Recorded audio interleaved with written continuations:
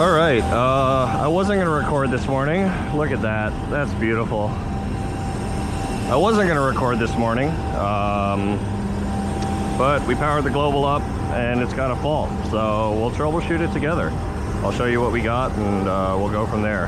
I'm gonna access the um, emergency equipment bay. Not emergency equipment, the avionics bay. Because uh, I think I'm gonna have to pull a circuit breaker in here. Uh, and the one of the pilots is up in the cockpit. But essentially we have a uh, one of our IASCs, integrated air system controllers, is reporting that it's receiving invalid data from a pressure sensor. Now, the majority of the sensors on this aircraft are multi-channel, um, which means it very well could be a sensor problem. But I'm gonna access this and then hop into the troubleshooting manual just so I'm doing stuff for the book. But more than likely, we're gonna pull a circuit breaker on this computer. It's gonna reboot and then we'll uh, it'll test good once it reboots. But let's see what we got.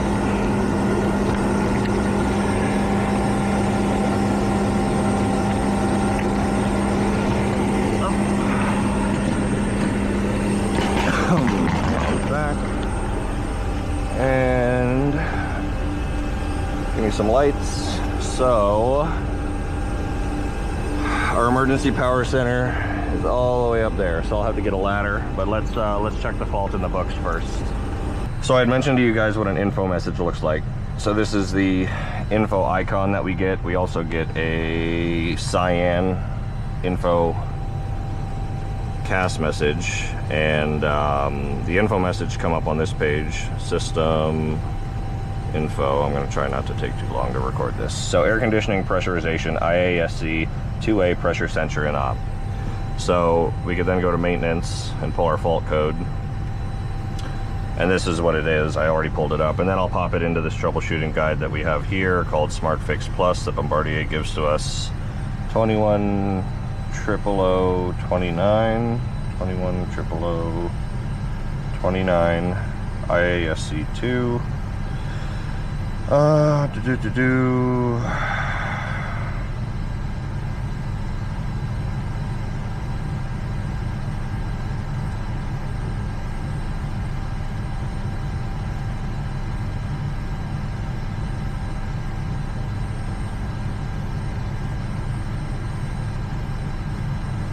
So not much, but it is a latching fault. So all it takes is a brief moment of a miscompare between the two sensors.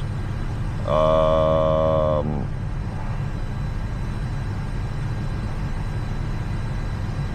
Twenty seconds. So let me see where the IASC boxes are located.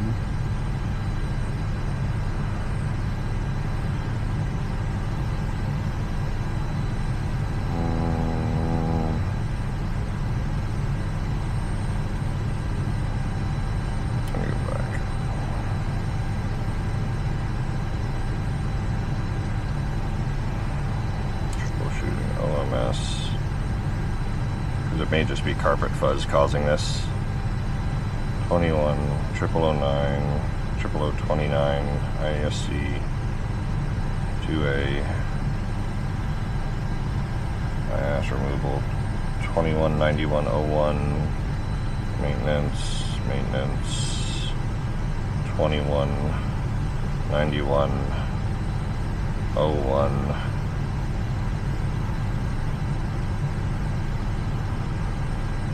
collapse menu. They are in the belly, forward. Okay, I remember where these are. All right, I'm gonna get in the belly. And you may, it may do something weird when I pull this circuit breaker. Uh, let me remember what circuit breaker it is. System, no, system, circuit breaker. System 21 IASC 2A DC EPC 1A05. Alright. I'll be back. This is either going to work or we'll power it up and power it back down.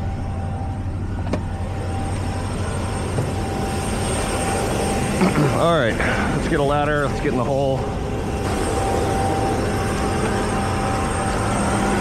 So, this is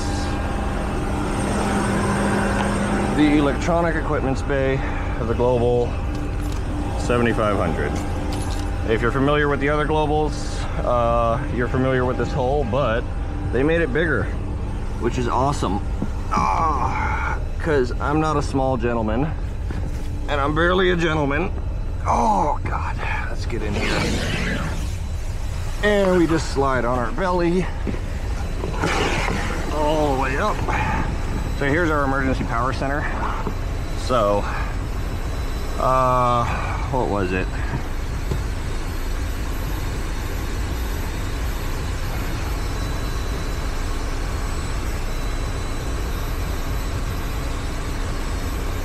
Is this not our emergency?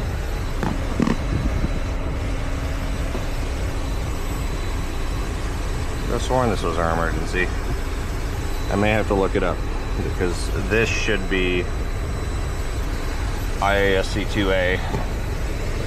Uh, I'll double check that. But if we keep coming up here, one of these boxes is our Gotta find it. No, no. No, no. IIM. Fly-by-wire power controller. Dual frequency converter.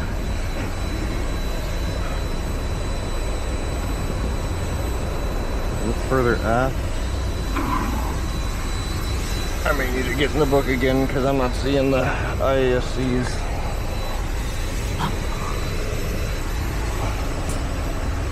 Definitely not on here.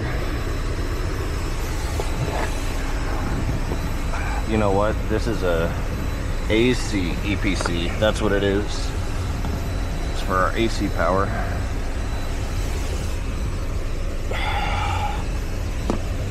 And we're just scooting back, trying to find our way to the hole.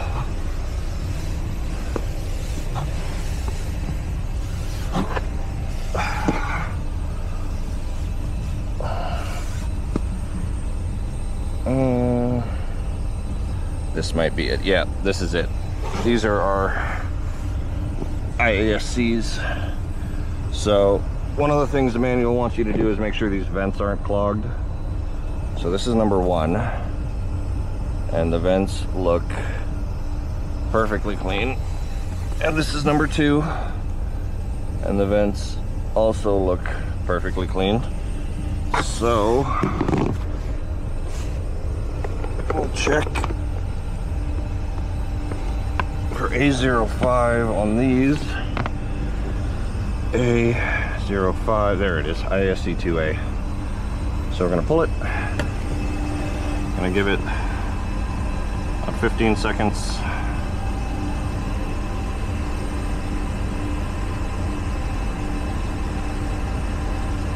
And if this doesn't work, we're just gonna power cycle completely. There we go gonna run its bit check. We'll check what it's doing in the cockpit. So, we'll pull up info over here. System, info. Have you seen up in that helmet? Uh, I, I saw, um, I, I got in. When, so the info message is gone. In a,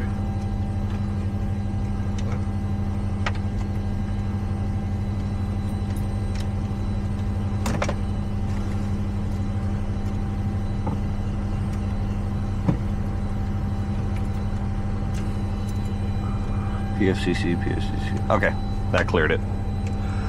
Awesome. So. So it's the first time we have one. Easy as that. Yeah. Okay, not so bad. That was a quick one. But that uh, essentially is the flow of um, you get a fault, you get an info message, you go to the manual, you see what the manual says. We did what the manual says, which was check the pressure ports on the IASC. Uh, they were clear, so then we just cycled power to that particular unit, hop back in the cockpit, no more info message, no more fault message. Uh, we just finished up the checklist that you guys have seen me do before, and no issues. Now she's happy and ready to go until something else breaks. So, uh, thanks for watching, like and subscribe.